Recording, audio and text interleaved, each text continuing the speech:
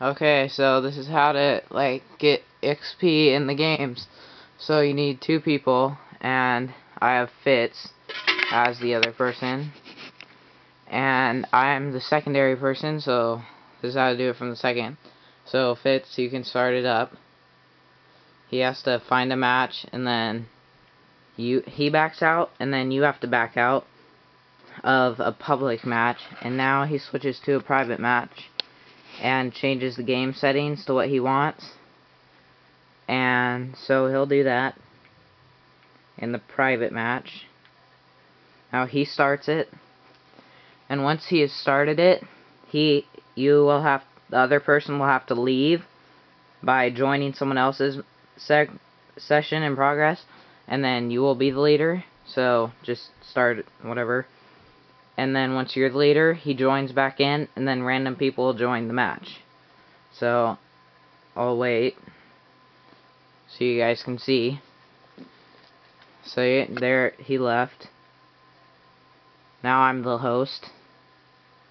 He's joining someone else's match. Sorry about the camera, I don't know what the heck's going on. But, you just run around, do whatever you want.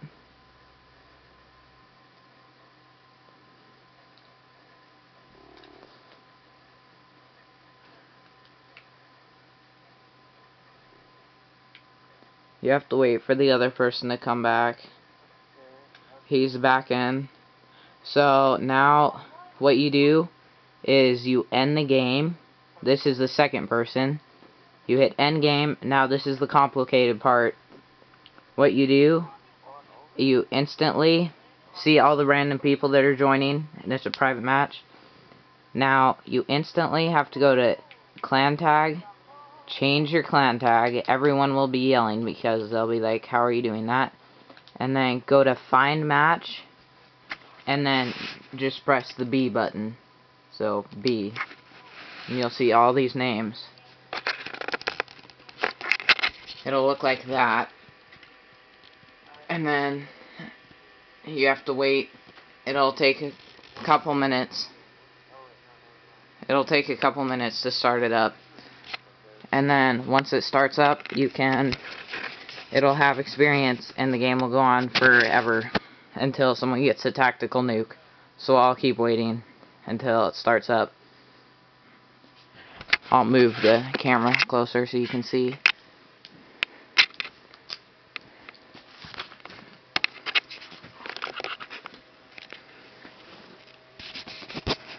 So that's what it will look like without the flashing lights Sorry about that. See, find match. So, what you do, what you would do if you just came to the menu and you're the host. Okay, never mind, it's loading. And, as you will soon see, there's, started up, the XP bar at the bottom. So, and I'll wait till it starts so you can see the time limit but as you can see where the time limit is there now you can't see it very well. There you go. There's no timer above so you have unlimited time. And you do it the game settings are demolition unlimited time and unlimited score